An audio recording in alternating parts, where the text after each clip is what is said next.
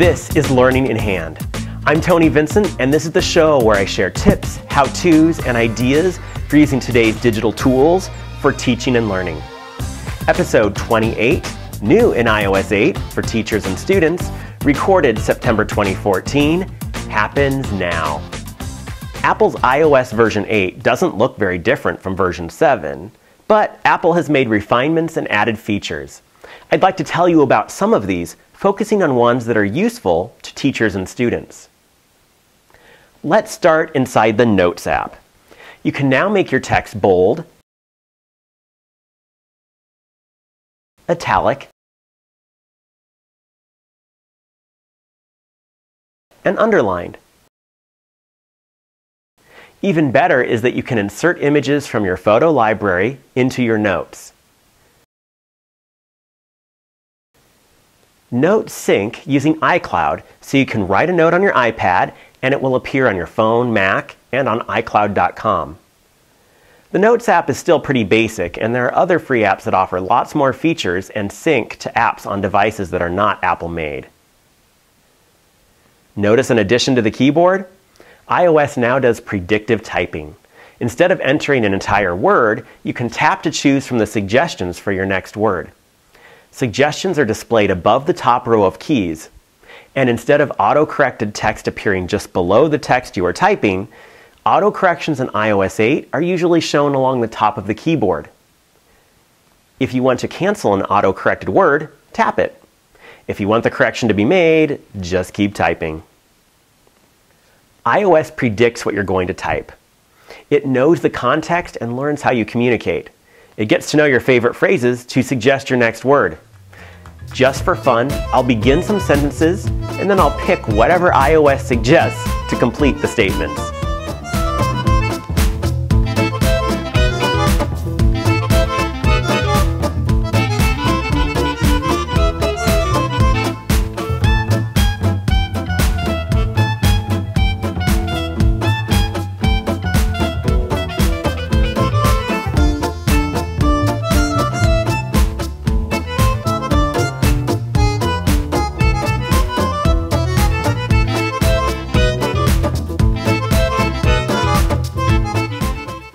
You don't like Apple's keyboard, iOS now allows third-party keyboards to be installed. That's great news for people who love Swype on Android. With one continuous motion across the screen, you can type faster because you're not lifting your finger. If your device supports dictation, you'll be happy that iOS 8 displays the text you're dictating, period.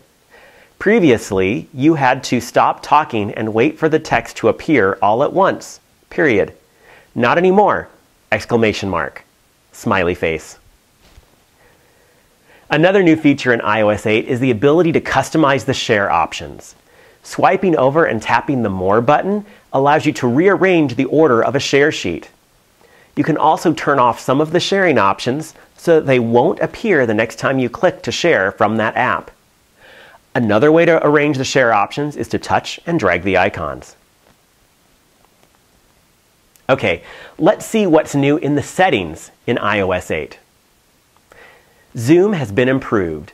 Zoom is great for those that need vision accommodations, but it's also great for demonstrating apps to others because you can zoom to focus in on part of the screen. iOS 8 gives you more options and a menu to control the zoom. You can choose the zoom region, which can be the entire screen, or it can be a window that can be moved, resized, and used to magnify a specific section of the screen. With Zoom turned on, you activate it by double tapping with three fingers. iOS 8 introduces another way to activate Zoom, and that's by showing a controller. With Show Controller On, tap the Zoom controller once for quick access to the controls. Or simply double tap the controller to zoom in and out. I think that's a little easier to remember than trying to double tap with three fingers. You can touch, hold, and drag the zoom controller to place it anywhere on the screen. When zoomed, simply press and drag in a direction to pan the screen. If you decide you don't want to see the controller anymore, tap it and choose Hide Controller. Another new feature in the accessibility setting is Speak Screen. When turned on, swipe down with two fingers from the top of the screen to hear the content of the entire screen or page read aloud. I suggest also turning on highlight content so that the words are highlighted as they are read. Learning in hand, posts, about, services, contact, stick around, HQ, sorting, labeling and matching iPad games, April 22nd, 2014. Learning in hand show number 27 is all about the stick around app for iPad. The idea behind stick around is simple. Players move stickers onto the correct spots on a background. The thing is, While speaking, you can control the puzzles, speed, but you use it to skip sections, and pause. Guided access locks a device into one app. When activated, the home button does not take you back to the home screen and you cannot access other apps. It's great for parents and teachers who hand off devices to children. It's also nice to lock devices into one app at classroom stations or centers. But so much of our iPad workflows involves opening and exiting a number of apps to accomplish a task. So being locked into one app might be too limiting. Unfortunately, guided access lets us specify only one app that is accessible. But new in iOS 8 for guided access is time limits. You can indicate if you want an alarm sound or spoken time limit warning. Let's go into the Stick Around app and see guided access at work. After opening, I simply triple click the Home button. The guided access option appears. You can choose which buttons and options will work when you start guided access, including volume adjustments. You can circle areas on the screen you'd like to disable. And at the bottom right is the time limit. After setting a time, turning on, and clicking Start, the time begins. The user won't see the countdown unless he or she clicks the Home button. There will be a warning when time is getting low. After time expires, a message appears and the device is frozen. To exit guided access, you'll triple click the Home button and input the passcode that you use for guided access and click End. And while we're in settings, let's check out the new battery usage display. You can use this to monitor the battery drain of specific apps. If you see an app you haven't really been using but it's taking up a high percentage of battery, close the app by double clicking the Home button and flicking up on the app screen. Now, contrary to popular belief, closing all your apps is not a great way to save battery. In some cases, closing and reopening an app each time you need it can use more battery than if you just let it stand by in the background. Plus, who wants to spend all their time constantly closing apps? Heading on over to the camera app, you'll see that there is now a timer set for 3 or 10 seconds. Maybe this can help you take better selfies by giving you time to set up your shot. The camera app also gets a new time-lapse mode. Press record to take a video that will be condensed into a high-speed video. Over in the Photos app, you'll notice the camera roll album is gone.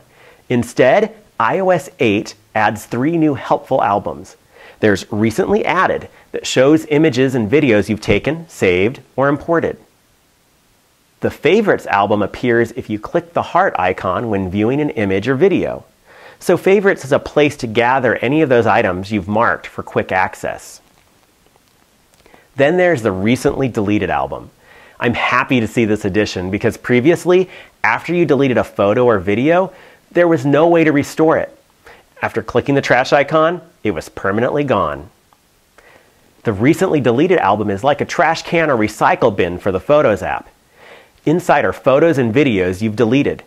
Each has a countdown to indicate how long you have to recover the photo before it disappears forever. To restore an item, click it and then click the Recover button. It will be added back to your photo library. You don't have to wait for an item to expire for them to be permanently removed from your device. You can immediately delete photos and videos by selecting them and then clicking Delete.